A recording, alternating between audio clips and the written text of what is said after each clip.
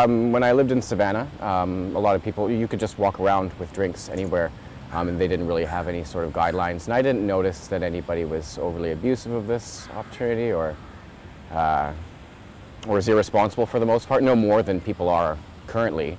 So um, I think that people of Vancouver would get the benefit of the doubt.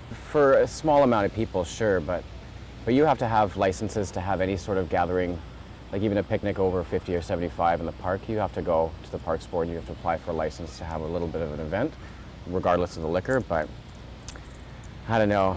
I, I want to trust the people of Vancouver to be responsible with it, but at the same time, uh, it is definitely uh, up to the police and the parks board so they can take care of everything.